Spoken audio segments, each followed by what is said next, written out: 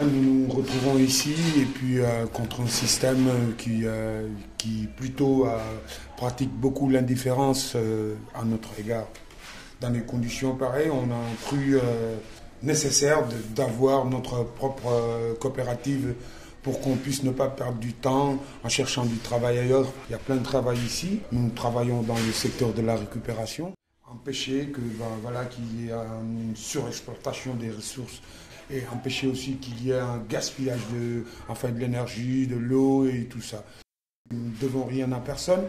Nous ne tuons pas, nous ne faisons pas le, banditisme ni la délinquance, mais plutôt ben, apporter positivement dans cette société qui, euh, euh, qui d'une manière ou d'une autre, essaie de nous invisibiliser ou de, ou de, nous, de nous ignorer.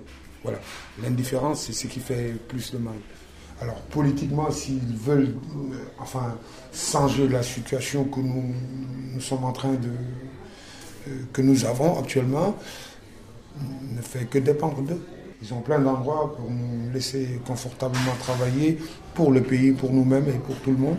Du euh, racisme institutionnel, si vous voulez. Nous savons que nous serons expulsés d'ici un jour mais avec la promesse que nous aurons notre endroit avec de, de meilleures conditions.